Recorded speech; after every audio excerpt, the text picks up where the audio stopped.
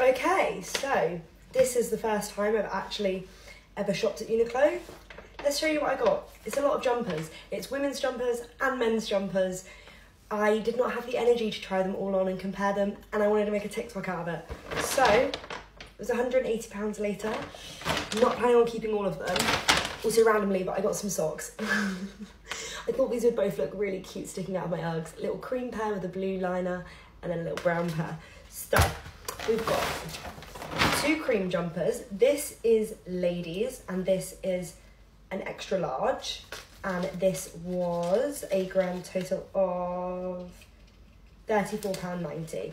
Then this is men's, and this is an extra small, and it's in this like knittedness. And this was £34.90. So, okay, let me try these on.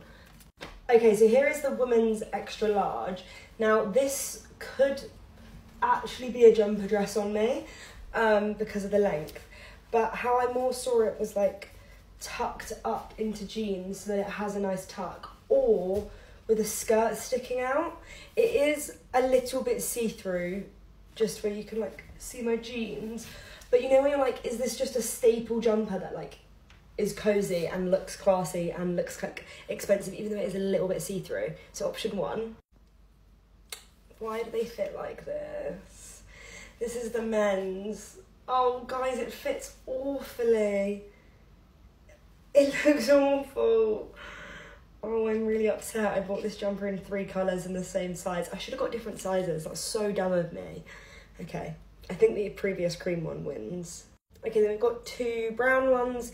This is the same as the first jumper I tried on, the women's, but this is an extra small, so it's not an oversized fit.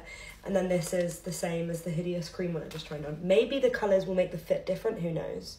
So completely different fit to the extra large one, but I actually really like it. Um, and with like a little skirt, even just with this outfit at the bow, everything's looking good with the bow.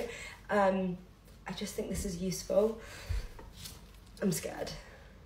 Okay, I would definitely say that for some reason this one doesn't look as hideous.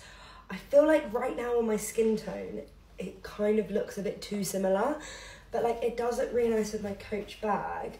So I feel like this one's a maybe. Obviously I won't be, like my tan's gonna fade, so I won't be this tanned and then maybe the colour will look a little bit nicer. I just think right now my skin tone looks a bit sicky. Okay, and then last but not least, we have that same jumper in the men's, in the extra small, in navy. I feel like navy and brown are going to be my colours of this year. Um, again, why does it look so much cuter in the other colours than it did in the cream? Do we think it is a bit wide in the old army arms? But like, that's fine.